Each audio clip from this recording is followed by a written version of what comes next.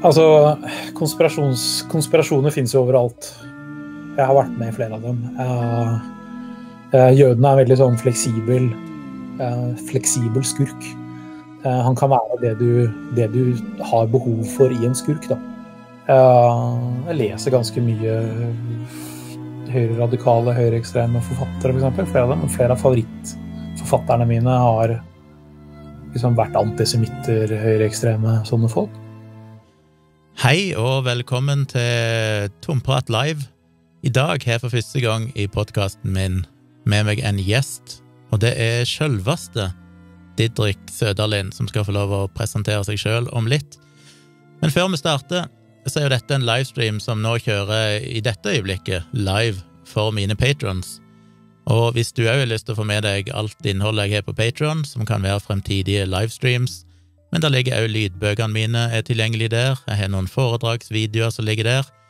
Eh, du får litt andre ja, fantastiske, spennende ting, som tilgang til min Discord-server og andre ting. Du finner patronen min her på patron.com slash tjomli. Der går det an å signe opp for å støtte det arbeidet jeg gjør med blogging og videoer videoer, livestreams og podkast og alt sammen. Hvis du er glad i kritisk tenking og vitenskapsformidling, så setter jeg veldig pris på å få støtte som gjør det mulig for meg å kunne fortsette arbeidet og kanskje gjøre enda mer på sikt, som jeg selvfølgelig håper på. Hvis dere ikke har lyst til å bli patron, eller selv om dere er patron eller vil bli patron, så kan dere òg støtte arbeidet mitt med å kjøpe meg en virtuell kaffe. Og det kan dere gjøre her på buymeacoffee.com slash civics. Der kan dere kjøpe én, to, tre, fire, fem, ti, 50 Hvor mange virtuelle kaffeer dere vil og det går òg til å støtte arbeidet mitt. Så på forhånd, takk for det. Det kan dere selvfølgelig gjøre når som helst dere ser denne videoen. Og så vil jeg minne om at jeg har en podkast som heter Tomprat med Gunnar Kjomli. Den finner dere både på Spotify og i podkast-apper rundt forbi. Så gå inn og søk opp eh, Tomprat, så finner du forhåpentligvis den. Så håper jeg du vil abonnere og få med deg alt det andre jeg driver på og snakker om inne i eh, podkasten. Og hvis du òg abonnerer på YouTube-kanalen min Tvilsomt med Tjomli, som du er inne på akkurat nå, så får du med deg livestream som jeg kjører ganske ofte, sånn åpent på kveldene.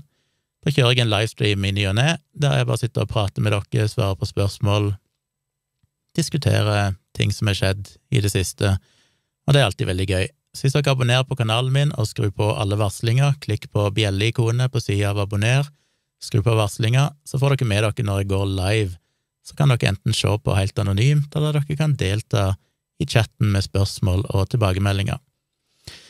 Og for de som er patrons og ser på dette direkte nå, så er det òg mulig å stille spørsmål i livechatten, så når vi begynner å prate, så blir det en ganske løs prat, der vi bare snakker litt om temaet i kveld, som altså er konspirasjonsteorier.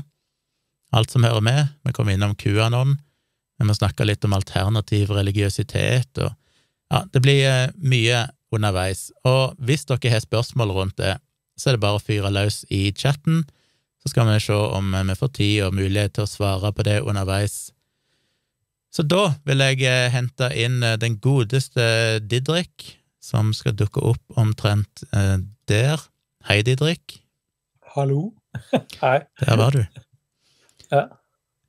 Eh, takk for at du ble med. Det syns jeg er veldig kult. Takk for at du ville ha meg. Du er min første er gjest ever her. Det er en ære. ja, det er alltid, alltid, hyggelig å bli spurt eh, om ting av deg. Eh, sånn er det bare. Ja, du er, du er så medgjørlig at det er nesten flaut. Nei, men vi har jo, vi har jo litt forhistorie, så ja. syns det er litt viktig å stille opp. Setter veldig pris på det, og jeg spurte deg jo fordi jeg syns jo temaet konspirasjonsteorier og QAnon og Flat Earth og alternative strømninger, som jo både meg og deg har vært opptatt av i mange, mange år, mm. har blitt eh, mer aktuelt enn kanskje noensinne. Det mm. føles iallfall sånn. Eh, og da vet jeg det er mange som kanskje ikke nødvendigvis vet så mye om det. Og da er det jo ingenting som er bedre enn å prøve å opplyse folk, og jeg vet jo at du har engasjert deg og satt deg litt inn i noen av disse tingene, så så du var rette person å prate med, tenkte jeg. Men du kan jo begynne, for de som ikke kjenner deg og ditt eh, vakre andlet. Eh, hvem, hvem er egentlig Didrik, og hvorfor har jeg spurt deg om å være med her? Nå med vakkert koronaskjegg. Nei, altså um, Jeg heter Didrik. Jeg jobber i Human-Etisk Forbund. Og er over gjennomsnittet opptatt av hva folk tror og ikke tror på. Uh, og det har vært en sånn brennende interesse for meg hele livet. Uh, og jeg er litt sånn både interessert i ateisme og skeptisisme og humanisme og sånne ting, men også interess veldig interessert i religion, uh, religiøse forestillinger, religiøse praksiser, sånne ting. Uh, så generelt, altså, jeg, jeg, jobber med tro og tvil, er vel egentlig det jeg prøver å, prøver å si. Og jeg har engasjert meg en del i konspirasjonstenkning. Uh, litt fordi jeg ser på det som en slags sånn religionslignende ting, da. Mm. Det er religion uten alt det jeg liker ved religion? uh, på en måte. Ja, for du er jo eh, til å være Du kaller deg vel ateist, gjør du ikke det? Eller? Jo, jeg, altså først og fremst er jeg humanist. Uh, men, men, jeg er også ateist. Uh, og har Blir vel egentlig mer og mer ateist med åra, tror jeg. Og det på tross av at du har prøvd hardt å bli religiøs? jeg prøvde jo å være Altså, jeg har jo prøvd å være religiøs, og det bare fungerer dessverre ikke for meg. Uh, men jeg prøver, inn, prøver, meg innimellom. Jeg syns det er veldig fascinerende å prøve religiøse praksiser og bønn og faste og sånne ting, for å se hva det gjør med meg. Uh, også fordi fordi jeg ikke skjønner religion selv. Altså jeg, jeg, har, tror jeg har vært ateist hele livet. Det er ting der jeg bare ikke klarer å skjønne. Og da blir jeg, når det er ting jeg ikke skjønner, så blir jeg fascinert. Ja. Og når jeg blir fascinert, så blir jeg nysgjerrig og vil lære mer. Pluss det er en fin måte å oppleve gøyale ting og bli kjent med hyggelige folk på. Mm. Um, men konspirasjonsteorier mm. Det som jeg sa, jeg syns det har blitt veldig aktuelt, og grunnen til det er jo både Jeg vet jo aldri hvor bias den er, men det, det føles jo som at det, ting som tidligere kanskje var ganske obskurt. Det var enkelte grupper på Facebook, og det var enkelte miljøer som hadde rare ideer, som jeg vil kalle det. Mens i dag så opplever en nok mer og mer at disse folkene og disse tank, dette tankegodset dukker opp i alle slags kommentarfelt. Mm. Og så er det jo selvfølgelig USA. Du har Trump, du har QAnon, du har alt som har skjedd der i det siste som har gjort dette enda mer synlig, med tilhørende mediedekning. Mm. Sånn at jeg tror nok at konspirasjonstenking kanskje var litt mer for de sære før, folk som var litt interessert og fulgte litt med i de strømningene. Så føler jeg i dag så er det blitt en del av mediebildet for alle. Og det første jeg lurer på, er vel om du kan definere en konspirasjonsteori. Hva er forskjellen på en konspirasjonsteori eller det å være en konspirasjonsteoretiker og det å bare være skeptisk? Altså, konspirasjoner finnes jo overalt. Jeg har vært med i flere av dem. Uh, fordi jeg liksom, Hver gang noen snakker sammen på bakrommet og bestemmer seg for å gjøre noe uten å inkludere andre, så er det på en eller annen måte en slags konspirasjon. Men når man snakker om de, teori, de ting, konspirasjonene man snakker om med konspirasjonsteorier, så snakker vi gjerne om sånne allmektige uh, sammensvergelser hvor ingen lekker og man styrer hele verdenshistorien og sånn. Så er det sånt, en sånn grad av kontroll og mektighet som du ikke finner i virkeligheten. Uh, med unntak av ekstreme tilfeller, og da er det alltid noen som, som går og sladrer. Uh, så det er vel på en måte det nærmeste man egentlig kan komme. Altså det er en konspirasjonsteori er jo sikkert en teori om en allmektig og ekstremt ond konspirasjon. Og det er jo en forestilling som går, løper gjennom hele historien vår. En del folk har det for seg at dette er noe nytt, men det er jo ikke det. Det første Altså, altså blant de første folka som ble fortalt om at de, liksom, de drev med kannibalisme og onde orgiastiske ritualer i, i, under bakken og sånn. Det var jo de kristne i Romerriket. Uh, som jo nettopp samlet seg i katakombene og drev med måltider med fri kjærlighet. Og mm. også, ikke sant? også i tillegg også så er det det med nadverden. ikke sant? De spiste, de spiste jo Jesu kjøtt og drakk hans blod. ikke sant? Det høres jo helt forskrekkelig ut for en hedning. Mm. Uh, så det er en sånn veldig gammel greie da, som, som har vært med oss, og som bare muterer hele tiden. Det er sånn ja. det er. Men er det, er det sånn typiske Altså, du har jo de gamle, klassiske konspirasjonsteoriene med Ja, du har JFK-attentatet, du har Har vi vært på månen eller ikke, var det en, en løgn? Um, 9-11, var det en inside job? Du har de mer sånn økonomiske konspirasjonene, Illuminati og hvem er det som egentlig styrer verden. I nyere tid så vil jeg òg kalle vaksinemotstand. Ikke at det er en ny konspirasjon, men den har blitt veldig synlig iallfall etter år 2000. Etter Andrew Wakefield og sånn, så er det jo blitt veldig mm. Kanskje mer synlig, det.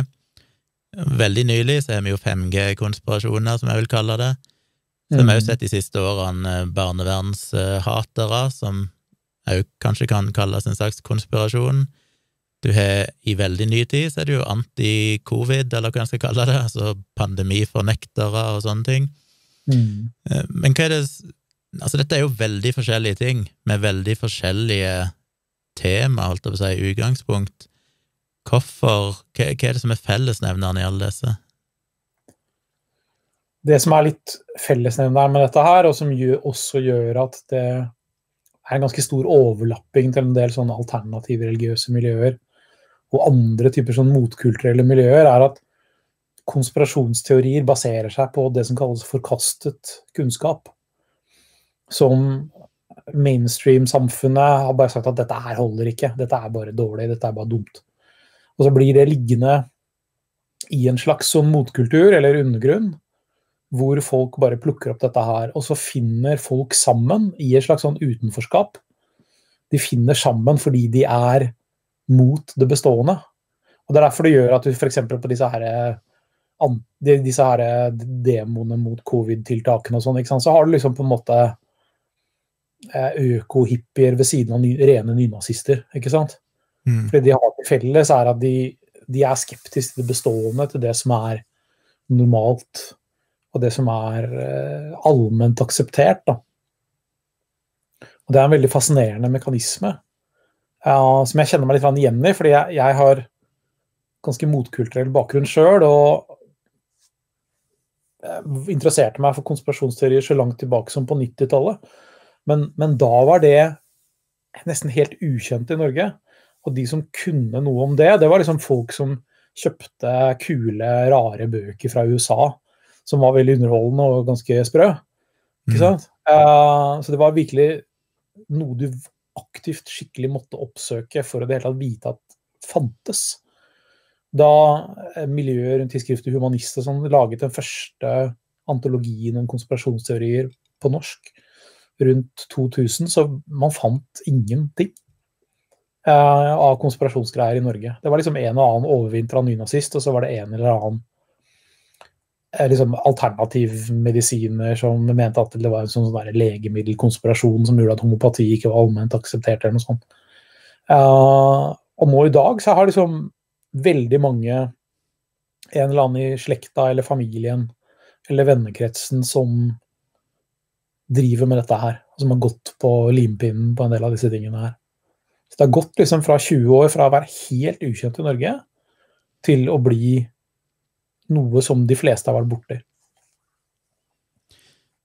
Da er det interessant å tenke litt rundt hva, hva er det som gjør at det har vokst og spredt seg. Er det en konsekvens av at uh, mer tradisjonell religiøsitet eller kristendom har gått tilbake, og folk trenger et eller annet å tro på, så det på en måte fyller det hullet? Eller er det internett? Eller er det begge? Eller noe helt annet? altså, altså, noen av de som tror på konspirasjonsteorier, er jo kristne. Så jeg vet ikke om liksom, kristendommens død er skyld i noe av dette her, men det kan nok kanskje være en viss overlapping. altså Dette som ble tillagt GK Chesterton, uh, men som han ikke sa, men som er ganske greit destillat av holdningen hans, nemlig at når folk slutter å tro på kristendommen, så tror de ikke på ingenting, de tror på hva som helst. Mm. Um, så det kan kanskje være noe der i at man får fått en sånn veldig privatisert form for spiritualitet, hvor det er færre folk som kan sette på bremsene.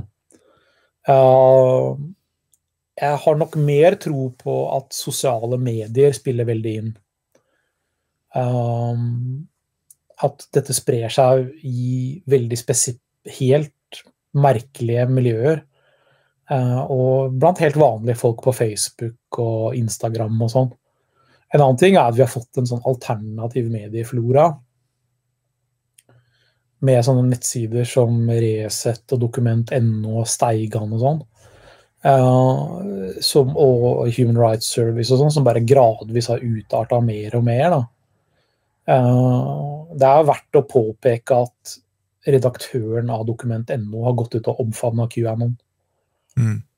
Det er faktisk ganske, det er faktisk ganske sprøtt, altså. Ja.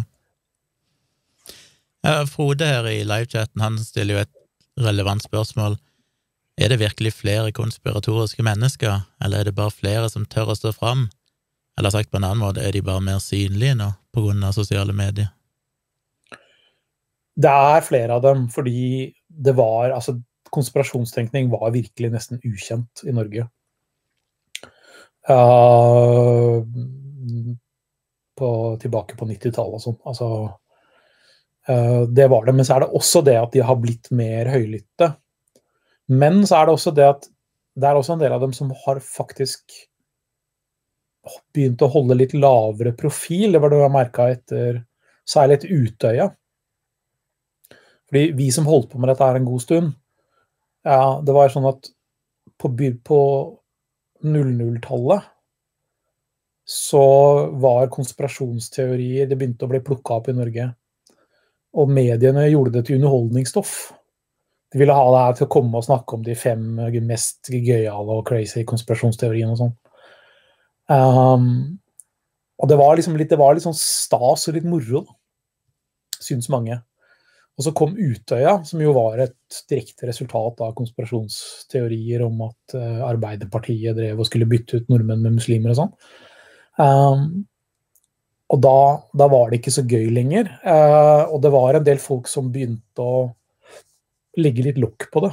Så jeg, jeg, så folk jeg visste var ganske konspir, som begynte å liksom tone det litt ned. da. For det begynte, det de begynte å få negative reaksjoner på det. Mm. Men igjen så er det jo det at liksom altså, men, men, igjen, altså det var jo rundt 2011-2012. Men så etter hvert så begynte jo liksom dette å komme inn i politikken. ikke sant? Du hadde Ulf Leirstein, som jo var liksom justispolitisk talsmann for Frp, var han ikke det? Som lagde en sånn rettssikkerhetsgruppe mm. som skulle gi ham råd om om juss og, og, politikk i Norge. Og som besto av liksom en sånn der stjernegalleri av noen av de verste konspirasjonsfolka vi har. Ikke sant? Og så hadde du Listhaug, som var sittende justisminister, som, lagde, som delte dette her berømmelige memet om at Arbeiderpartiet bryr seg mer om terrorister enn om nordmenns sikkerhet og sånn. Uh, som faktisk brukes som eksempel i faglitteraturen på konspirasjonssnakk i den boka 'Hva er konspirasjonsteorier?' på Universitetsforlaget. Uh, så det er ganske fascinerende at vi har en, hatt en justisminister som mm. brukes mm. som skoleeksempel i faglitteraturen på konspirasjonssnakk. Så, så det, har, det, har, vært en utvikling her. Det har det. Og når du også ser altså, Per-Willy Amundsen, vår tidligere justisminister, sitter og deler folk fra Infowars og sånn. Alex Jones-gjengen. Mm. Det er det, Ja, så det har vært en utvikling her. Det har det. Ja. Og du var litt innom det tidligere. Vi har jo Jeg husker jo tilbake, det er mange år siden nå. Det var jo eh, Ja, hvor lenge siden? Sju-åtte år siden, eller sånn. Så ble jeg blokkert ifra Facebook en periode fordi jeg skrev kritisk om antivaksine, og så var det kampanjer for å rapportere meg ifra antivaksinemiljøer. Mm. Og da skrev jeg en eh, kronikk i, på NRK Ytring, og for, vi spekulerte litt i hvordan er det mulig å rapportere folk ut av Facebook, for vi vet jo at det var folk som hadde prøvd å rapportere folk som skrev det vi mente var brudd på retningslinjene, kommentarer om vaksiner og sånne ting, og det var klin umulig. Facebook ville aldri kaste folk ut, men en eller annen gang så klarte de å kaste ut sånn som meg og et par andre. Ja, meg også. Ja. Og det vi så da, var jo at på den tida så begynte det å bli Det virka som at dette var en slags taktikk så, som oppsto ifra hva det heter, European Defence League eh, i England, altså høyreekstreme miljøer, som Ja, da English begynte å ja, English Defence League, som begynte å samarbeide med vaksinemotstandere sånn i England, og så hadde en sett de samme tendensene der. Så jeg husker jo Mm. allerede da så skrev jeg litt om det, at jeg syntes det var fascinerende at høyreekstreme samarbeider med vaksinemotstandere, for det teknisk sett så er det vel neppe noe sånn Altså, jeg tror det er mange vaksinemotstandere som står veldig langt politisk ifra høyreekstreme i utgangspunktet, men de har kanskje en felles fiende, og derfor forente de seg. Og jeg føler bare det har blitt enda mer tydelig i dag. Vi så det allerede da, for mange år siden, mens nå, spesielt i USA, sånn senest i nå for et par dager siden, når disse covid-fornekterne og vaksinemotstanderne sto og blokkerte for vaksinering utenfor et stadion i California, så sto de jo sammen med høyreekstreme. Og det er så fascinerende, syns jeg, at nå er det blitt helt mainstream at høyreekstreme og vaksinemotstandere kjemper den samme kampen. Og du, du var jo litt inne på det, men, men er det Ja, det er kanskje bare så enkelt som at det er en sånn felles forakt for autoriteter, eller felles forakt for eliten? Er det en sånn antielitistisk bevegelse? Er det, er det det som driver konspirasjonen? jeg kjøper ikke at det er en antielitistisk bevegelse, fordi altså, en av heltene deres er jo en mann med gulldass. Altså, det jo Men de tror jo han er en mann av folket. Ja, det er viktig å huske på at Trump er vaksinemotstander. Ja. Og at Fred eh, Eller, i fall- eller altså, han er iallfall han sprer iallfall konspirasjonsteorier om vaksiner. Da. Um, så, men ja, man har en del altså, Man må skjønne hva de, hva de mener når de snakker om eliter. Ikke sant? De snakker om eliter er folk med, med liberale holdninger. Det er det, de, det er det de mener. Det handler ikke om utdannelsesnivå, det handler ikke om inntektsnivå. Det handler ikke om formue. Eh, Det handler om at folk har liberale meninger, er det som gjør dem til elite. Du ser det samme i Norge også. De samme, samme greiene fra kulturkrigerne på høyresida i Norge. At eh, elite er lik gjerne person som bor i by, eh, og, og eller har liberale meninger. Men en annen type elite, kan det være jødene? Som sitter med økonomisk makt og representasjon i uh, altfor mange plasser, ifølge disse folkene. For det er vel òg en ting vi har sett, og som du har vært inne på tidligere, at hvis du følger trådene langt nok tilbake, nesten uansett hvilken konspirasjon det er, så kommer du til jødene til slutt. At det òg ser ut til å være en slags fellesnevner. Ja, eh, det gjør man jo. Det handler jo om at den klassiske konspirasjonsteorien siste 100 åra, eh, og flere hundre årene egentlig, det er ideen om jødene, jødenes verdensherredømme, eller forsøk på å få verdensherredømme, Sions siste protokoller og den der typen ting. Så det, det ligger veldig dypt i kulturen vår, eh, inkludert en del antisemittiske forestillinger som du finner i Du finner det i en høyre-radikal variant, du finner det i en venstre-radikal variant, du finner det i en konservativ variant, du finner det i en opplysningstenkningsvariant, du finner det i en religiøs variant, du finner en ateistisk variant osv. Eh, jøden er en veldig sånn fleksibel, eh, fleksibel skurk. Eh, han kan være det du, det du har behov for i en skurk. Da. Han kan være religiøs eller gudløs, han kan være eh, ond kapitalist eller slem kommunist. Ikke? Etter, alt ettersom hva du ikke liker. Så det er én ting. eh, og moderne konspirasjonskultur er gjennomsyra av antisemittisme. En ting som også har skjedd i de årene som jeg har holdt på med dette her, er at folk i særlig det norske konspirasjonsmiljøet de har blitt mindre blyge på det med jødene Mm. Da konspirasjonsteorier virkelig sånn for alvor ble importert inn i Norge, så var det bl.a. gjennom bøkene til Per Aslak Ertresvåg. Eh, og han var jo tidligere venstremann. Um, og Jeg tror ikke han er antisemitt. Sånn at han fornorska jo veldig mye av dette amerikanske konspirasjonsmaterialet. Og da luka han bort det verste jødegreiene. Så det nådde Norge i en litt sånn mer kosher variant. da. Uh, Iallfall hvis med de, de, mange som tok det mellom ham. Og disse bøkene solgte virkelig mye. altså De lå jo virkelig på bestselgerlistene til Trond Små og sånn. Og, og, det var også sånn rundt da f.eks. da Human-Etisk Forbund starta 'Ingen liker å bli lurt'-kampanjen i 2011. og sånn, så var det sånn at folk var veldig nøye på det at de var ikke antisemitter.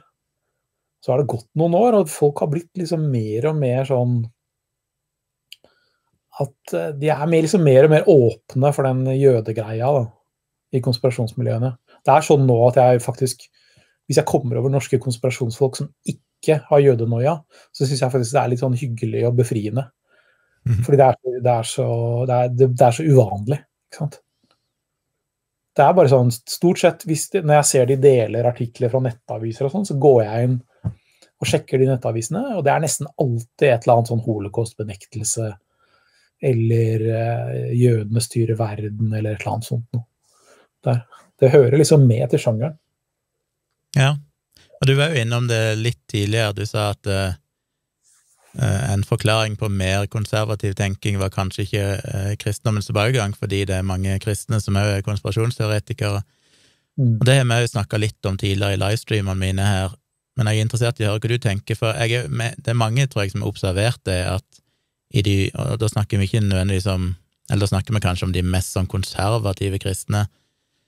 Eh, der er det en interessant sånn anti-covid-tendens, altså anti-lockdown, anti-smitteverntiltak. Mm.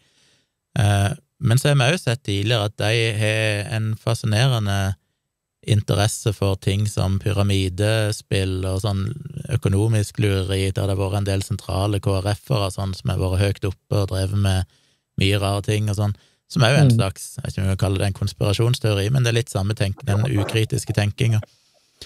Det, det, er det ikke. Uh, det, ikke. det, er ikke. konspiratorisk, men det er, altså, det er ikke konspirasjonsteorier, men, men en av grunnene til at kristne miljøer er spesielt utsatt for sånn pyramidesvindel, det er at det er miljø hvor folk har mye tillit til hverandre. Og vil gjerne vil hjelpe hverandre. Um, også, også, økonomisk. altså Det er en ganske sterk tradisjon i Norge som går tilbake til Hans Nilsen Hauge. For sånn kristent entreprenørskap, og folk er liksom opptatt av å starte bedrifter og, og bidra til samfunnet og sånn. Og det er noe som fort kan snyltes på av eh, sånn pyramidefolk. da. Det er, det, er, det, er, et problem i kristne miljøer at de, de har den Men altså, det verste er at liksom tillit til hverandre og ville hjelpe hverandre, det er jo en bra ting, ikke sant? Mm. Ja, det er jo det. det. Så det er bare så, er så utrolig synd at noen utnytter det.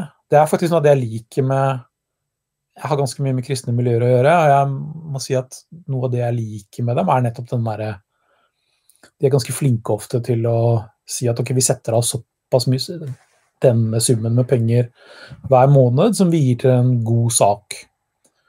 Ikke sant? Eller at jeg er liksom litt opptatt av hvem de gir penger til. og, og så har jeg merket at Det har påvirka meg til å gå litt i den retningen sjøl. Bli mer obs på hva jeg gir penger til. Og, så det er, det, er, det er, mye bra der, men, men, det kan jo da også utnyttes ikke sant? av folk med litt øh, dårlig med skrupler.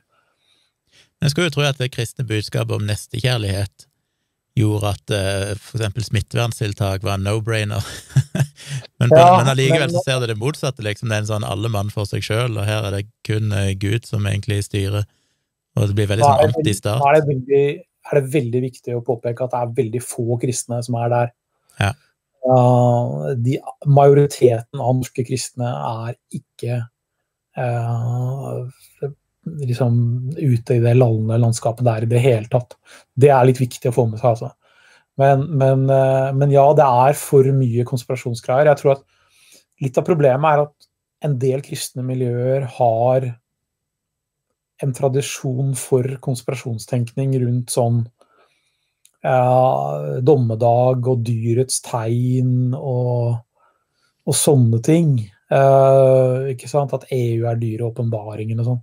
Det fins en sånn En av de, en av de første norske konspirasjonsteoretikerne jeg ble klar over, var Abel Struksnes, som er en norsk eh, kristenfundamentalist av en eller annen variant. Som drev og lagde pamfletter om hvordan EU var dyr i åpenbaringen. Eh, og, og, som han drev og hang opp på Ja, spredde på de måtene man kunne. Sånn på sent 80-, tidlig 90-tall, som var å henge det opp på oppslagstavla på vegetarrestauranten i Oslo og sånn, ikke sant. Det var, det, var, det var, sånn man kunne spre det da. Så, så, det er også en sånn kristen tradisjon der.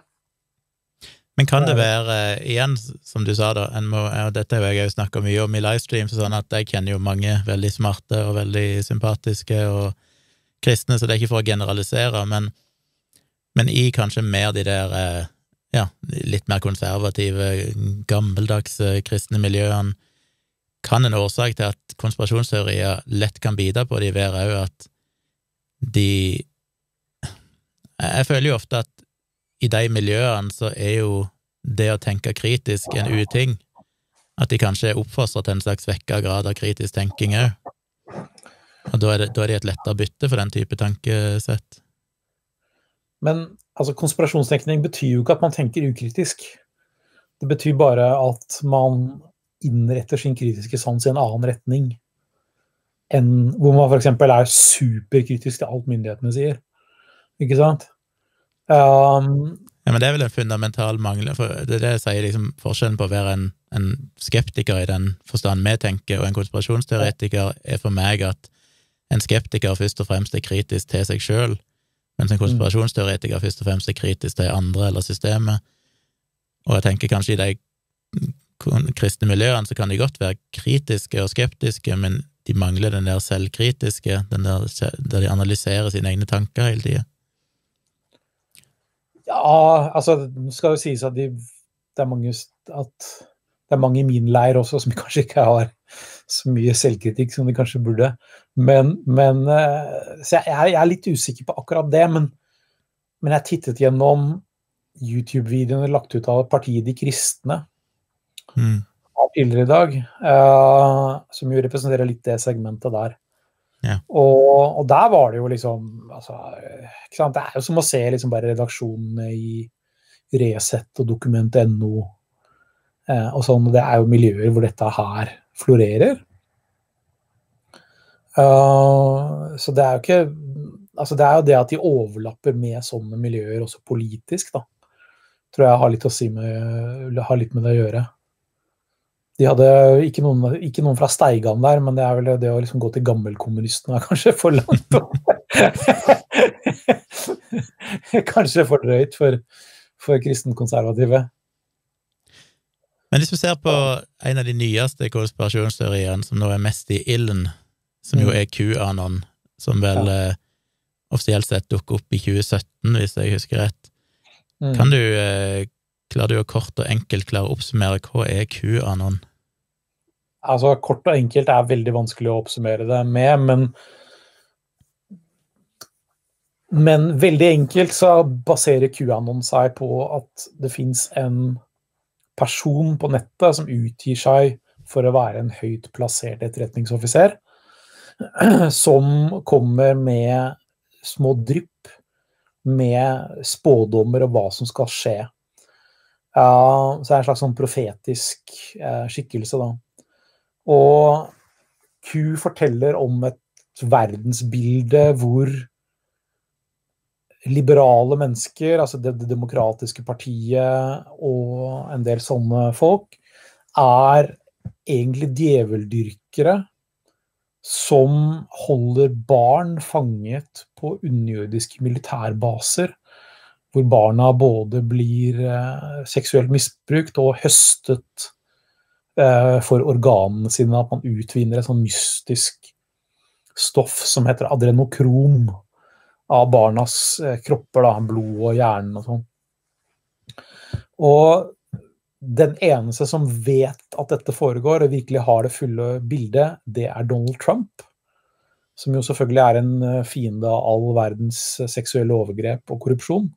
som kjent. Og han er da i gang med å bekjempe disse miljøene. Sånn at Robert Mullers etterforskning for eksempel, av Donald Trump, det var bare et, et uh, narrespill, fordi Muller jobber egentlig med å liksom fengsle demokratiske ledere og sånt, for de er jo pedo-satanister alle sammen. Um, det er altså det er altså så sprøtt at jeg merker at når jeg sitter og forteller om det Så hvis jeg hadde hørt meg sjøl snakke om dette her, så hadde jeg bare tenkt at nei, nå smører Didrik litt tjukt på igjen. Men, men, det er viktig å huske på altså dette er, dette tror de faktisk på. Og QAnon har røtter i en annen konspirasjonsteori som ble kalt Pizzagate. Hvor kjernen var at, en, at Hillary Clinton og andre sentralt plasserte demokrater drev en barnesexring fra kjelleren under en pizzarestaurant i Washington DC.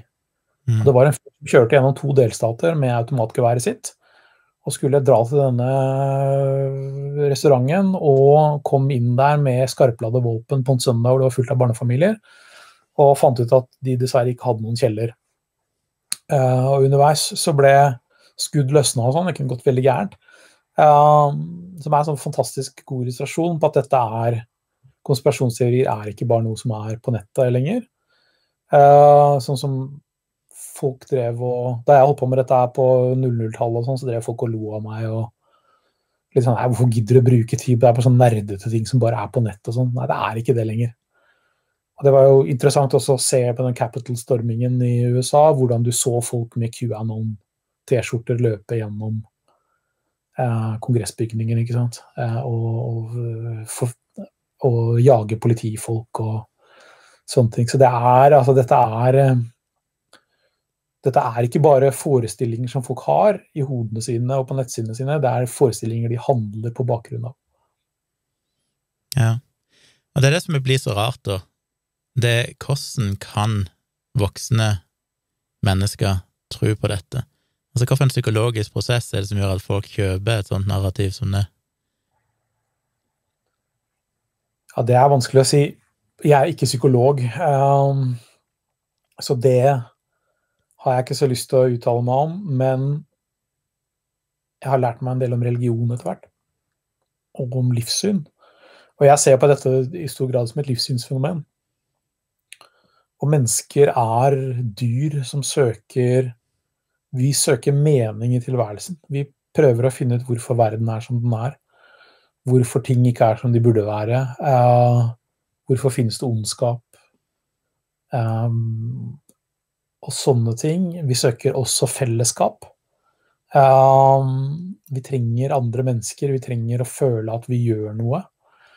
Og QAnon er jo en fantastisk blanding av alt dette her. Det gir deg både en forklaring på hvorfor verden er som den er, og hvorfor ting går gærent, men den gir deg også en slags helterolle i ditt eget liv. Du kan gå fra å være liksom sånn kjedelig person som er arbeidsledig eller jobber på et kjedelig kontor, eller noe sånt, til å være en sånn ridder i hvit rustning som kjemper for uh, sannhet og godhet.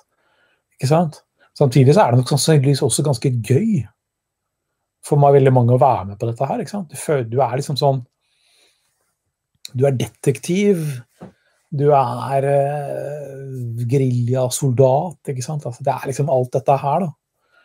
Uh, jeg, jeg, tror det kan være ganske moro å være med på, være med på dette her. Så jeg, jeg har ikke noe ja. veldig problem med å forstå sånn rent personlig at folk lar seg lokke. Ikke sant? QAnon-mytologien er også ekstremt fargerik, ikke sant? Men Betyr det at du tenker at mange av de kanskje ikke egentlig tror på liksom de spesifikke detaljene, men at det kanskje handler mer om et overordna verdensbilde og fellesskap og sånne ting? Jo, men altså, vi, Noe vi vet om Q-troende, er at de ofte i varierende grad tror på de forskjellige komponentene dette her. Uh, men sånn er det med de fleste verdensbilder. ikke sant? Hvis du er med i et vanlig politisk parti, uh, hvis du er med i Ap f.eks., er ikke sikkert du er enig med partiet ditt i alt. ikke sant? Det kan være ting ved partiet du syns er teit. Eller tilfeller hvor du tar feil, men det er liksom Det er der du føler deg mest hjemme, og så har du venner der. Så føler du at det dere gjør alt i alt er ganske bra, da. Mm. Så, så jeg syns ikke det er så, liksom, så veldig langt så, så vanskelig å forstå, egentlig. Jeg tror alle Jeg har vært rundt ganske mye spesielle miljøer i oppveksten. Ikke sant? Eh, Punkscena, anarkistmiljøene, forskjellige sånne motkulturelle eh, rare miljøer, da. Og det, altså, det har en sjarm, det har en moro i seg, ikke sant. Det, er, det har en sånn Det er liksom du, du og vennene dine mot verden. Ikke sant. Jeg, jeg, har, jeg har ikke så veldig vanskelig for å for å skjønne at folk syns det er gøy, altså. Jeg har ikke det. Nei, jeg bare syns det som skiller kua nå Jeg mener, månelanding og JFK og alle de andre tingene, det er litt sånn Ja, vi kan akseptere Sånn teknisk sett så kan du si at ja, vi vet ikke. Altså, vi vet jo selvfølgelig at folk lander på månen og sånn, men det går an å lage et argument for at du kan plukke fragmenter og si her er det et eller annet som skurrer, og her er det noe som skurrer, og sånn. Mm. Men jeg bare føler noen inneholder elementer som er bare sånn helt åpenbart absurd. At det bikker så langt over den grensa til at det lenger er bare litt sånn mystisk og fascinerende å spekulere i, liksom. Og men samtidig så har QAnon 2000 år med forhistorie. For, som vi snakket om i stad, med altså, konspirasjonsteorier om kristne i katakombene under Roma som uh, møttes der nede for å spise menneskekjøtt og drikke menneskeblod.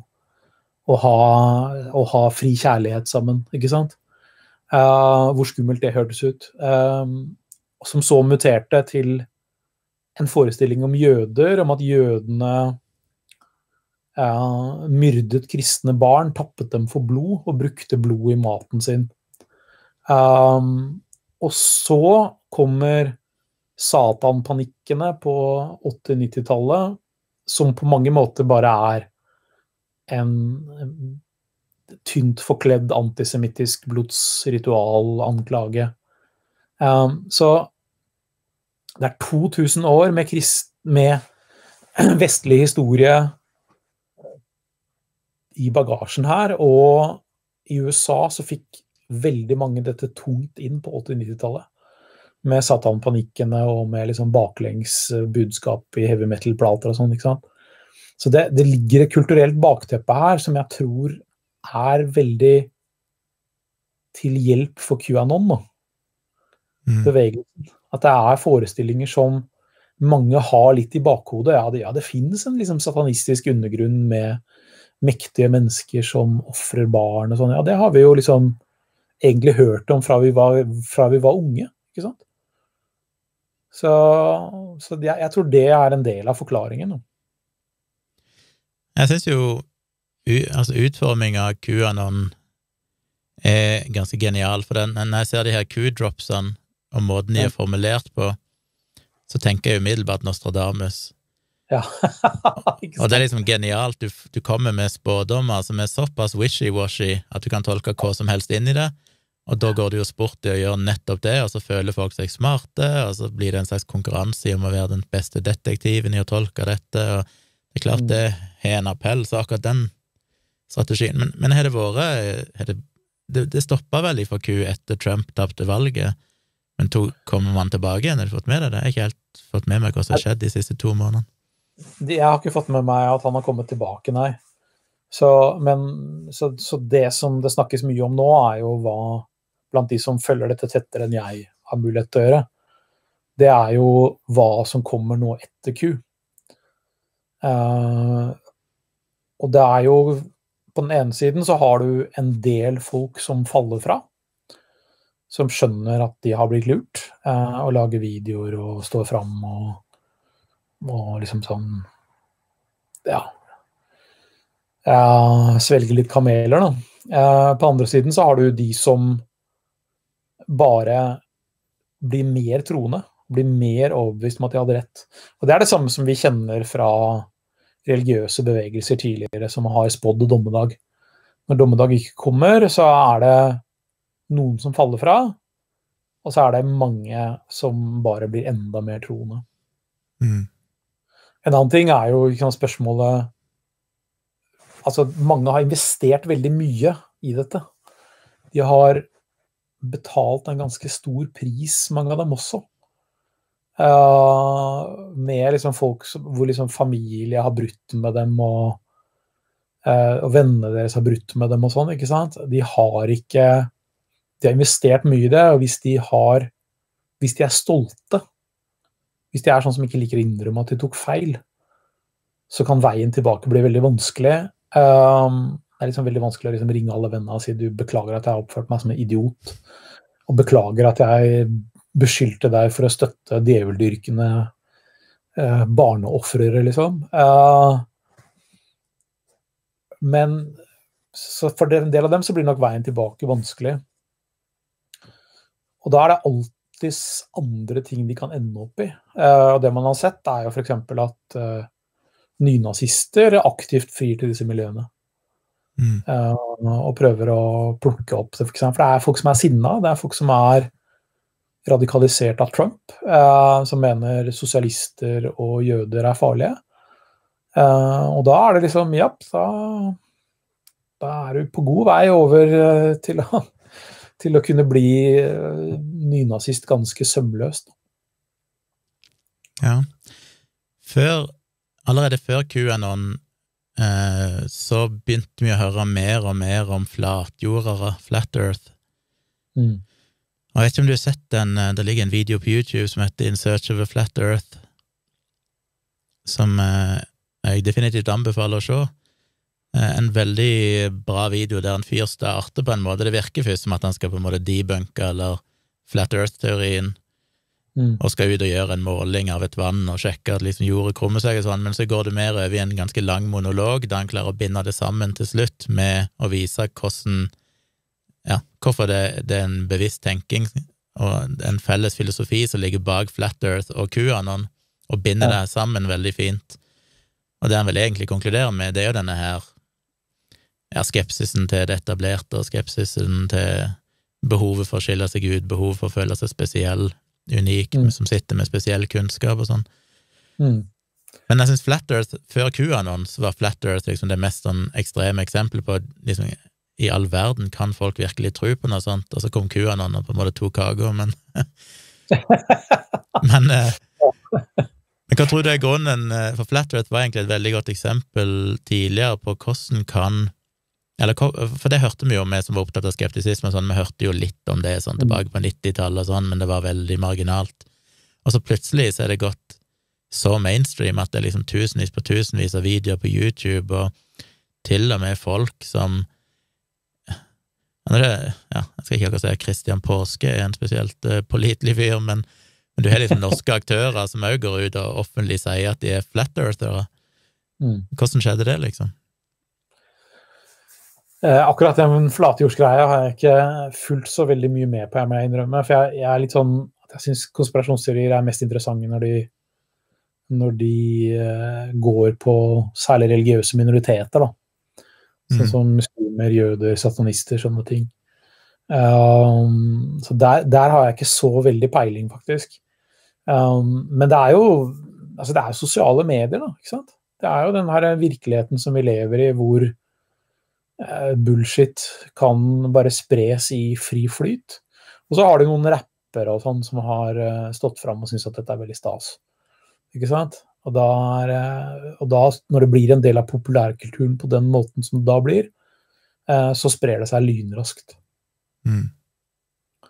Det, det, er noe vi bør, bør ha lært av har lært av vestlig popkulturhistorie. Når, når, en eller annen artist tar opp en idé, så sprer det seg veldig raskt. Og det har vi jo sett litt i Norge i det siste. Vi har folk som Kari Jakkesson, vi har folk som for så vidt Christian Påske, selv om ikke han er så profilert, vi har Henriette Lien, vi har Trude Dybendal. Mm. Disse, hva, hva, tror du ja, Det ene spørsmålet er kanskje hvorfor tror du nettopp det jeg kanskje vil kalle for avdanka TV-personligheter Eh, hvorfor ender de opp der? Jeg har jo spekulert litt i om er det folk som er, er bare ja, de savner rampelyset på et vis. De, de, har ikke lenger den der betydningen som de hadde før, og så blir de litt desperate etter å finne noe som gir mening, som gjør at de kan føle seg spesielle igjen. Eller er det bare tilfeldig at det er de vi ser, at noen av de må nødvendigvis være tidligere TV-personligheter òg, og derfor så legger vi merke til de? Jeg tror nok det er mye det at vi legger merke til dem fordi de har vært på TV, men, men noe som er interessant, er jo at både Kari Jakkesson og Henriette Lien eh, driver med trening og sånn wellness-kultur og sånn. Og altså, Henriette Lien er yogainstruktør.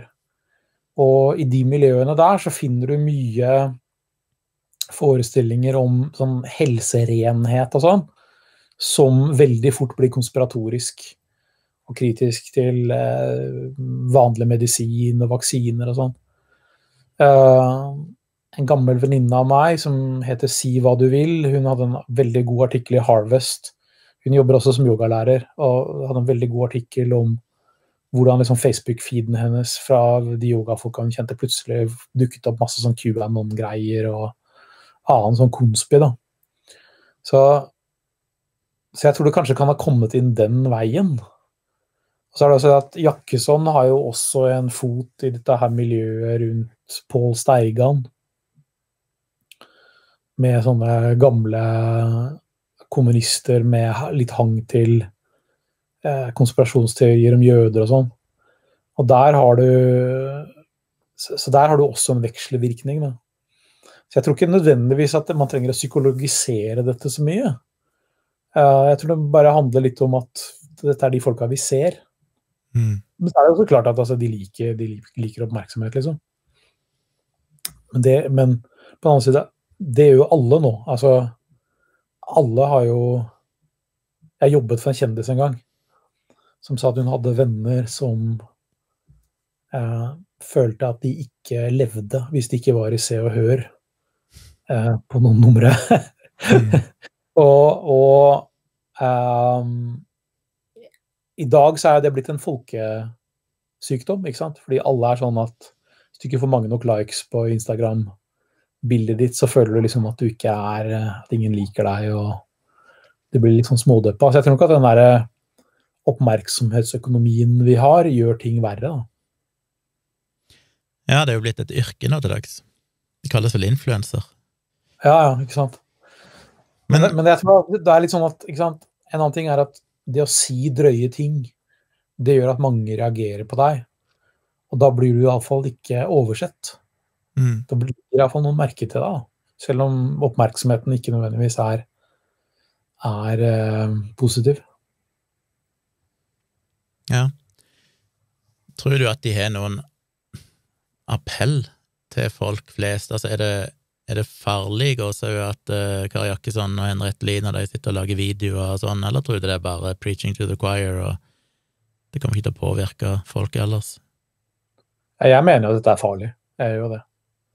Jeg mener at konspirasjonstenkning er farlig, og Jakkesson har jo f.eks. lefla med en av de som vi virkelig vet er farlig, nemlig konspirasjonsteorier om jøder, f.eks. Ikke sant? Um, så så vi vet at altså, vi vet at dette er farlig fra historien.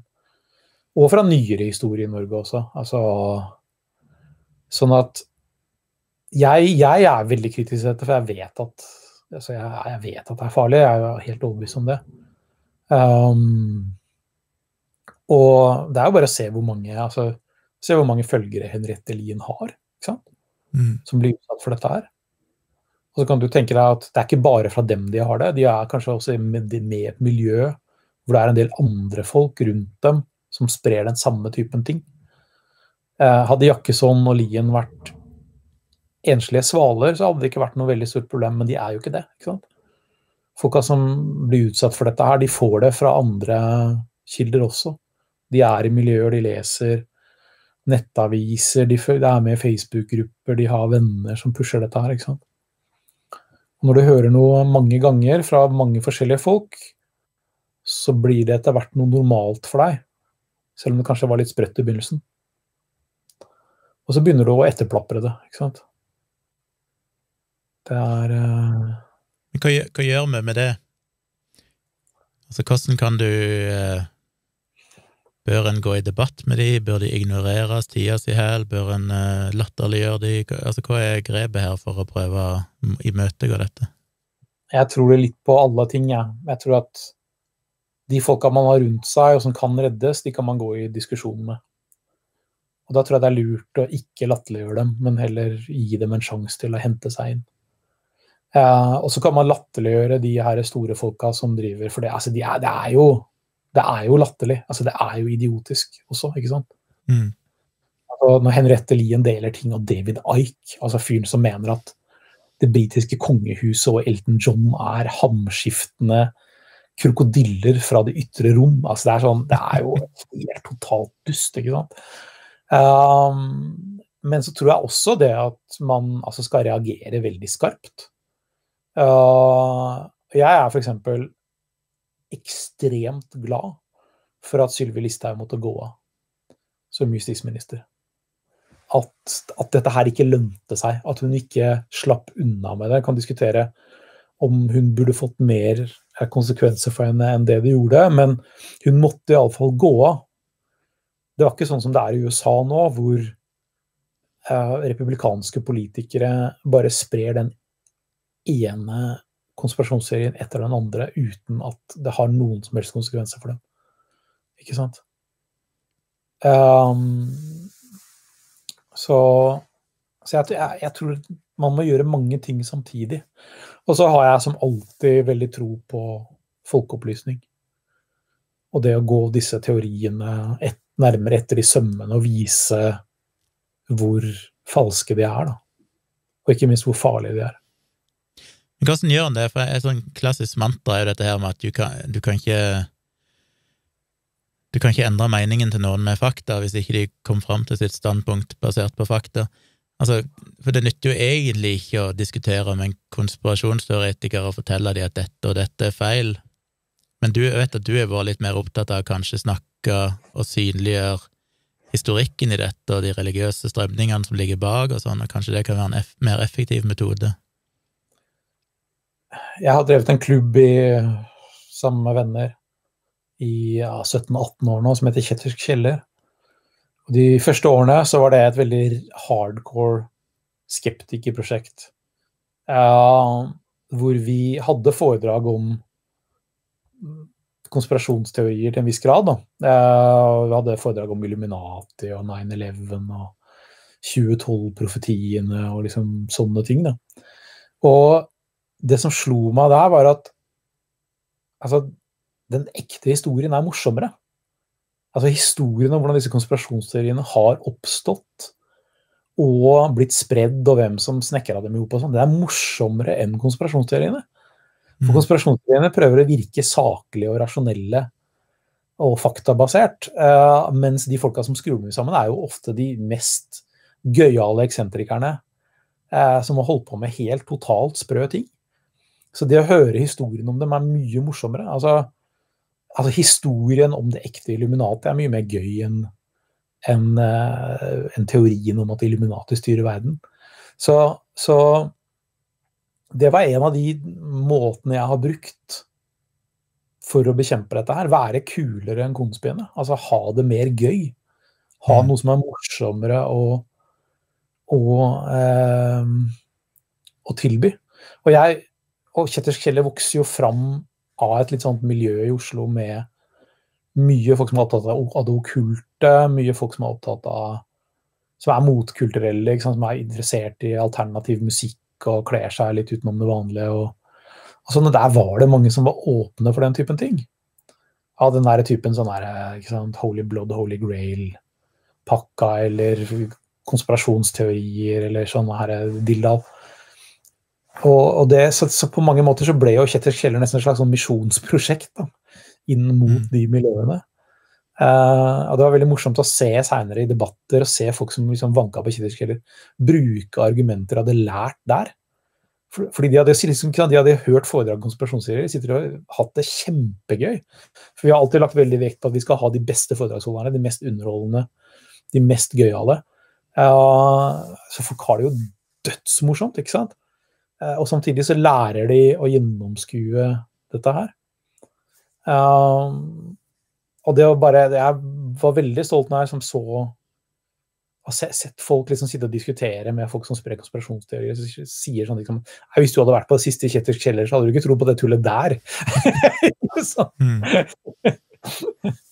så, ja, det, går det, det, går jo til dette med at hvis skal du overbevise noen for noen til å endre mening, så må du sjøl legge fram et bedre narrativ, en bedre historie ja, som de kan tro på. Du kan ikke bare si at de tar feil, men de må ha et godt alternativ. Ja, det må være, altså, det må være moro å være Det må være moro å være skeptisk og tenke kritisk. Men, men, er det for alle? Jeg mener, jeg gikk jo ifra i mine tenår, så trodde jeg òg mye rart. Jeg var veldig opptatt av ut-av-kroppen-opplevelser, ufoer og alien ja, ja. og alt dette her. Eh, nær døden-opplevelser var jeg dypt fascinert av og leste mye om. Mm. Men jeg ble jo på en måte Jeg leste vel til og med Erik von Deniken og sånn, og syntes at det var kult. Mm. Og det som omvendte meg, var jo å lese James Randy, Susan Blackmore, folk som på en måte plukka de fra hverandre og fikk meg til å få en aha-opplevelse av å skjønne at oi, shit, det er jo mye gøyere å finne ut hvorfor dette, eller hva virkeligheten sier, enn disse her teoriene som bare stiller masse spørsmål. Men det er meg, for, jeg, jeg får et kick av vitenskap og sånne ting. Men hvis ikke du er den personen, da, er, er, er, det noen du ikke kan overbevise, tror du, eller må du være genetisk skrudd sammen eller et eller annet til å sette pris på kritisk tenking i utgangspunktet? Nei, jeg tror Altså, noen er nok så dypt inni det og har investert så mye i det at de ikke kan omvendes eller nås, men en ting som er viktig å huske på når det kommer til særlig James Randy altså Mannen er jo tryllekunstner. Han ser ut som en trollmann fra Harry Potter. Han er fantastisk entertainer. Uh, han er helt rå i, i uh, tryllekunster. Han har turnert med Alice Cooper og kappa huet av ham på scenen hver kveld. Altså, altså det, vi snakker om en av liksom verdens kuleste menn. nå. Mm. Ikke sant? Uh, så det er klart at det å lytte til han er jo ikke kjedelig. Um, men jeg tror også at det er en impuls. altså Mennesket liker en, en, av tingene som konspirasjonsteorier tilbyr deg, er en følelse av å ha skjønt noe andre ikke har skjønt. Mm. Det gir deg en følelse av kanskje å være litt bedre, litt smartere enn andre folk. Og det er en det er en grunnleggende menneskelig impuls uh, som vi alle har i en eller annen grad. Um, og det er jo noe skeptikersaken kan, kan utnytte til fulle. Ikke sant? det er gøy og du føler deg litt kul når du har skjønt noe andre ikke har skjønt. ikke sant? Og det er ingen grunn til at den impulsen er noe som konspirasjonsfolka skal eie. Den tilhører alle. Nei, jeg syns jo det er hele kjernen i skeptisisme, jeg tenker jo sånn med gru tilbake igjen på hvor lett jeg kunne blitt konspirasjonsteoretiker, fordi konspirasjoner lå virkelig for meg. Mm. Hadde ikke jeg fått den informasjonen og tilfeldigvis kommet over de bøkene jeg kom over, James Randy og sånn, så, så, var det jo nettopp den der trangen at jeg følte at jeg hadde skjønt noe som ikke alle andre skjønte, og jeg fant informasjon om ting som mm. for meg gjorde, gjorde, meg overbevist om at uh, obduksjon av aliens var dokumentert, og ikke sant, Roswell ja. og hele greia. For kan, det, så, det finnes så mye informasjon du kan grave deg ned i, og du føler deg smartere og mer informert jo mer du gjør det, og det kick, det, du får det der uh, dopaminkicket av å finne mening, ting faller på plass. Så jeg er jo på en måte, føler jeg, en sånn prototyp av en som kunne blitt en aktiv konspirasjonsteoretiker, men som heldigvis kom meg ut av det tidlig nok. Men jeg er jo også akkurat en sånn en. Eh, jeg har jo alltid vært en litt sånn outsider. Eh, og fordi jeg vokste opp i et miljø med ekstremt konformitetspress. Uh, på Holmlia, hvor, jeg, hvor, man virkelig ikke skulle skille seg ut, altså. Uh, så har liksom det å oppsøke det som er utenfor allfarvei, for folk flest vært egentlig hele livet mitt. da. Mm. Både musikk, politikk, livssyn, uh, subkulturer, alt. Så jeg kunne veldig godt endt opp der sjøl. så jeg har flere ganger spurt meg sjøl hvorfor var det når jeg liksom møtte konspirasjonsteorier at det er ikke fenget meg. da. Jeg tror en av grunnene er at jeg syns veldig mye av det var veldig kjedelig. Uh, jeg ville kanskje gått mer på limpinnen hvis jeg hadde funnet sånne ting som Holy Blood, Holy Grail eller noe sånt. Uh, I veldig uh, utsatt alder, men, men jeg kom over det på et punkt hvor jeg allerede hadde begynt å tenke ganske kritisk. Og, og skjønte at dette, dette, dette var teit. Altså, det er den her René Chateau-mytologien, og Jesus flyttet til Frankrike og fikk barn med Maria Magdalena og sånn. Ja, men jeg tror at fordi noe av det første jeg prøvde meg på i konspirverden, var eh, holocaustbenektelse. For det syns jeg er veldig, veldig interessant. Um, og litt av problemet med holocaustbenektelse altså Litt av problemet med holocaustbenektelse fra et holocaustbenektet synspunkt, da, altså en velsignelse for meg som syns det er noe tull, uh, det er at den litteraturen prøver veldig å utgi seg for å være vitenskapelig faglitteratur. Og historisk faglitteratur.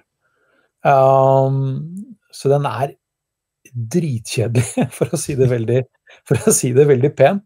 Det er veldig mye sånn tabeller om vannspeilet i Auschwitz og kapasiteten på det tyske jernbanenettet. Og altså, det er sånn utrolig ting som jeg syns er bare møkkjedelig. For realfag er jeg skikkelig dårlig og syns er kjempekjedelig. Um, så jeg bare orka ikke engang å lese det for å se hva det var. Jeg liksom kom noen sider inn så på den at dette her livet er for kort. Jeg kan, jeg kan godt lese vanskelige fagbøker, eh, men da må det iallfall være noenlunde altså Det må være noe av verdi der. ikke sant? Mm. Og du orker ikke lese 400 sider med liksom tabeller over krematorieovners kapasitet eh, og sånne ting, bare for å liksom konkludere med at dette er tull. Det orker, det, jeg orker iallfall ikke det. Jeg vet at du er mye mer utholdende på det enn det jeg er.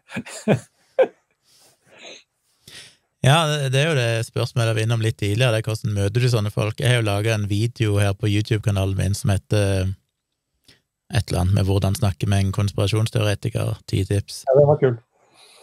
Ja, eh, det er jo jeg, jeg med skam så må jeg jo si at jeg vet ikke om jeg klarer å etterleve så mange av tipsene sjøl i praksis, for at jeg blir litt for fort trigga i sånne debatter til at jeg klarer å være den eh, rasjonelle, sindige personen som jeg egentlig ønsker jeg skulle være. Men, men ja, først og fremst, hvis dere ser dette, sjekk ut den videoen. Jeg håper jo den kan gi noen tips, og et av de viktigste tingene der tenker jeg vel er, skal du koke alt ned til én ting, så er det dette her med å stille spørsmål. Ikke bli mm. satt i posisjonen der du skal forsvare hvorfor konspirasjonsteoretikeren tar feil, men heller stille hvordan vet du det, hvordan, hvor fant du dette, hvem har fortalt det til deg? Mm. Eh, få deg på defensiven til å måtte virkelig tenke igjennom om det henger sammen, det de tror på. Jeg har litt det problemet at fordi jeg skriver litt om konspirasjonsteorier innimellom og har snakka litt om det i media og sånn, så er iallfall særlig Twitter-kontoen min er en magnet for sånne folk. Mm. Og jeg, jeg, kan ikke bruke hele livet mitt på å sitte og argumentere for hvorfor det ikke Hvorfor Pizzagate ikke er sant. Jeg kan ikke det. Og jeg har hatt sånne folk etter meg i stor grad. Eh, så jeg har faktisk bare nådd et punkt hvor jeg bare, bare må blokkere. Mm. De er jo ofte, også ofte ganske ufyselige og slår rundt seg med skjellsord og kjønnsord og beskylder meg for å være pedofil. og liksom, det, er liksom, altså, det er ikke moro, altså. Det er ikke det. Så jeg, jeg, jeg, har ikke jeg har ikke den tålmodigheten, jeg heller. Men jeg tror det har litt å gjøre med at altså Jeg hadde kanskje hatt en annen tålmodighet hvis det var noen rundt meg i mitt eget miljø som hadde gått hadde rota seg inn i en sånn konspiverden. Jeg har hatt noen sånne prater med folk, med, med venner, det har jeg. Mm. Men én ting er Ja. Én ting er jo hva eh, vi som individer kan gjøre i møte med andre folk, men som samfunn, da? Hvordan kan vi som samfunn vaksinere folk mot konspirasjonstenking? Er det utdanningssystemet? Er det media? Politikere? Altså, du har jo egentlig det jeg mener er svaret i spørsmålet ditt. Altså vaksine er det jeg tror er veien å gå. Fordi hvis folk har rota seg inn i en sånn konspiverden, så altså konspirasjonsserien er litt sånn selvimmuniserende. Hvor kritikken mot konspirasjonsteoriene blir en del av konspirasjonen. Mm. Ikke sant? Og Det er litt sånn der at, det er jo en av grunnene til at for eksempel, hvis man, det vet jo du også veldig godt, at hvis man skriver kritisk om konspirasjonsteorier, så begynner konspirasjonsteoretikerne å skrive om deg, for da er du en del av konspirasjonen. Ikke sant? Så det er en sånn Man kapsler seg inn. da. Ja, så Derfor så tror jeg at man må ta dette Man må vaksinere folk mot det. Sånn at de ikke går på limpinnen. Og jeg tror er veldig gammeldags der. Jeg tror at folkeopplysning er veien å gå. Kunnskap om dette. At skoleverket, uh, livssynsorganisasjoner som min, uh, politiske partier, media og sånn, tar dette på alvor, sprer saklig informasjon om det, slår ned på desinformasjon, ikke slipper konspirasjonsfolk ukritisk til i mediene, sånn at de kan bare sitte liksom og spre greia si, og så får man en sånn idé om at disse på en eller annen måte er jevnbyrdige med ordentlige forskere eller historikere eller normale politikere og sånn. ikke sant? Altså, jeg tror at man, man, man må ha en, en slags sånn kulturell beredskap mot det. Det tror jeg er veien å gå. På et samfunnsnivå. Og hvor man også lærer opp folk til å forstå hva konsekvensen av dette her er. Uh, og der, I Norge så har vi jo da uh, Altså vi har jo da Utøya, ikke sant? Som er et skrekkeksempel på hva som kan skje når unge menn går seg bort på nettet og begynner å lese konspiratoriske ting. Og så handle på bakgrunn av det. Altså Det er bare en så perfekt eksempel, egentlig, på, på dette her. Jeg vet ikke om du er sånn som meg, at du kjente deg litt igjen i Breivik. Siden du sier at du også har liksom vært Kunne endt opp rare steder. Ja, jeg, jeg kjenner meg jo igjen i veldig mye av det konspirasjonsteori Det er det jeg syns er vanskelig, fordi at Som skeptiker og en tilhenger av vitenskapelig metode, mm. så liker jeg ikke å avvise påstandene. Hvis noen kommer med 9-11-konspirasjoner, og så begynner de å komme med ja, men her, hvordan kan du forklare dette, og sånn, så syns jeg det er vanskelig å bare si hold kjeft, dette her er tull. Da må jeg gå inn og faktisk researche det og finne ut ok, men har de et poeng? Jeg må finne mm. ut av dette, jeg må ha et godt svar, og det koster så mye tid. Så du må liksom enten bare ignorere de, eller så må du gå all in. Jeg klarer ikke å bare avfeie ting, for jeg føler at de fortjener på en måte å, å få et skikkelig svar. Eh, så det, det, er veldig, veldig krevende. Men en, en, en, ting som henger sammen med det, er jo Jeg snakket om det i en tidligere episode av podkasten min, at en studie som nylig viste at etter at Trump ble kasta av Twitter, så sank andelen spredning av den type desinformasjon vanvittig, jeg skal ikke tallet nå, men det sank betydelig i løpet av de neste tre-fire dagene, som de forskerne da tolka i retning av at sånne fyrtårn som på en måte er veldig synlig og sprer sånne konspirasjoner, er veldig, veldig viktige for at det skal spre seg. Mm. Når du fjerner dem, så, så, så, knuser du på mange måter de miljøene litt. Så hva tenker du om det, er det riktig og er det viktig, tror du, at vi gjør det, at vi er aktive på det, kaster folk som Trump, Alex Jones, at de bør på en måte deplattformes? Altså, jeg, jeg, tror at det er veldig viktig å, å, marginalisere dem. Det tror jeg. Og det er en av grunnene til at jeg f.eks. har liksom fulgt med på folk som nettopp folk som Kari Jakkesson og Henriette Lien og sånn, fordi de, de har mulighet for å virke som den der typen fyrtårn. Uh, men også disse her, alle disse ymse justisministrene Frp har gitt oss også, ikke sant? som jo uh, En god del justispolitikere fra Frp har jo nettopp drevet lefla med konspirasjonsteorier. Og det er jo også med på å normalisere dette, ikke sant. Hvis en tidligere justisminister kan dele ting fra Infowars, så kan det jo ikke være så gærent. Mm. Ikke sant? Mange som sitter og tenker på det. Så jeg er veldig opptatt av dette her, at det det må, det må slås ned på, og det må kritiseres. Og det må på en eller annen måte straffe seg, da. Ikke sant? Det må, det må få konsekvenser. Det må, må, ikke bare være sånn at man liksom kan bare trekke på skuldrene og så eh, Ikke sant? Det må være sånn at folk tenker litt gjennom at uh, ja, kanskje vi ikke skal Kanskje vi ikke skal melde oss på det kurset som holdes av den og den personen. og sånn, ikke sant? Altså, jeg er jo motstander av yrkesforbud og, mener, og er veldig sånn mot å kontakte folks arbeidsgiver og sånn. Uh, jeg vil ikke ha, liksom, sånn, ha sånn Norge hvor folk mister jobben pga. meningene sine, som ikke vedgår jobben. Men, men det der at, at mediene helt ukritisk bruker folk som sprer ekstreme konspirasjonsteorier, og bare slipper dem til helt sånn ukritisk, sånn som f.eks. NRK, som har sånn, kjem, sånn koseportrettintervju med Johan Galtung, mm. uh, som jo driver og sprer helt vanvittige antisemittiske konspirasjonsteorier, ikke sant. Uh, det, det, er jeg veldig kritisk til. Det er jeg. Ja. Jeg kan ta med et siste spørsmål som kom inn her på chatten. Eirik mm. sier da jeg gikk på skolen, handlet eh, kritisk tenking nesten bare om å være skeptisk til avsenderen. Det beskytter kanskje ikke så mye mot aksept for konspirasjonsteorier?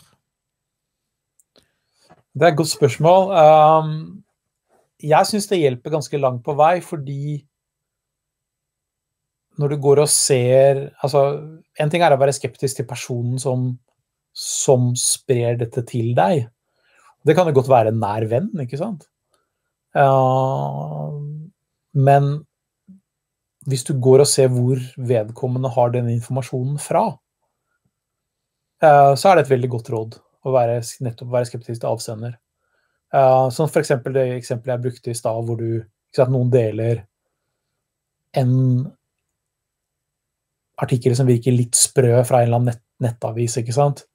men som virker også litt sånn innafor. Kanskje det er noe her.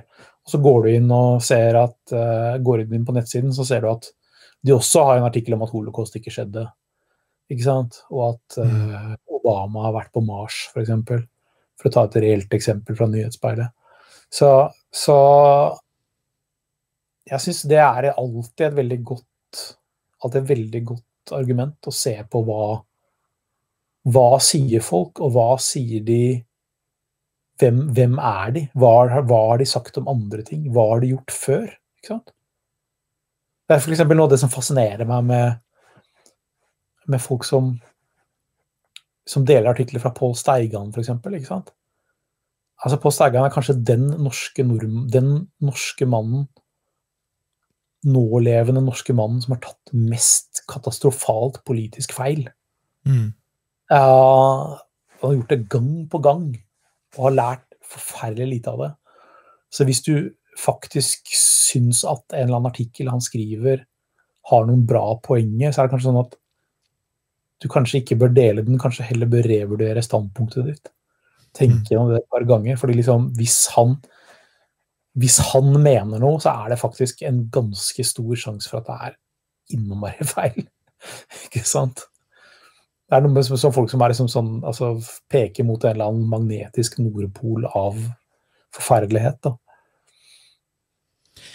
Ja, det, jeg, har jo, skrevet det sjøl i kommentarfeltet, at hvis du finner et eller annet på steigan.no, så kan du nesten være sikker på at det er det motsatte av sannheten. Men det ja. føles jo som en sånn cop-out òg. Jeg skrev jo en lang bloggpost der jeg kritiserte denne covid-filmen ja. og skrev en ny bloggpost etterpå der jeg gikk gjennom alle kildeanvisningene, og en betydelig andel av de kom jo fra ganske høyreekstreme nettsider som er en lang historikk med å spre de villeste konspirasjonsteorier, og så kan det tolkes som at jeg bare avfeier de fordi jeg er uenig politisk, eller et eller annet sånt, men for meg så, det jo, så må du ta noen snarveier. Du kan ikke gå inn i alle sånne argumenter, fordi hvis du ser at de tidligere har publisert de villeste konspirasjonsteoriene, som jeg tror de fleste som til og med er enig med covid-filmen, vil anse som ko-ko, mm. så kan du på en måte si at dette ikke er en god kilde, og hvis de har påstått et eller annet om eh, covid-vaksiner, så er det mest sannsynlig ikke sant. Så jeg tror det der med den der taktikken òg må bare, som du sier, se, det gjør jeg veldig ofte når jeg blir vist en kilde, så går jeg inn på menyen og så begynner jeg å se hva annet er det de har posta på denne sida, og da ja, ja. får du veldig fort et bilde av er dette en troverdig kilde eller ikke. Altså, jeg har et litt annet forhold til det, fordi jeg leser faktisk ganske mye ekstremt materiale fordi jeg syns det er interessant. Altså Jeg leser ganske mye høyreradikale, høyreekstreme forfattere, f.eks. For eksempel. flere av dem. Flere av favorittforfatterne mine har liksom vært antisemitter, høyreekstreme, sånne folk. Um, så jeg, jeg er veldig bekvem med sånt materiale. Men jeg bruker ikke argumenter fra dem nødvendigvis uh, i politiske debatter, da. For jeg, liksom, jeg, det, der syns jeg ofte at de tar veldig feil. Men du kan jo sette pris på det, det de lager allikevel. ikke sant? Altså romaner og filosofiske bøker og sånn. ikke sant? Det kan du. Så det, men, men, jeg vil jo si at iallfall i Norge så vil jeg si at en fascinerende ting med å være interessert i høyreekstremisme, sånn som jeg har vært i mange år, det er at det norske, de norske høyreekstreme miljøene har virkelig ingenting å by på. Mm.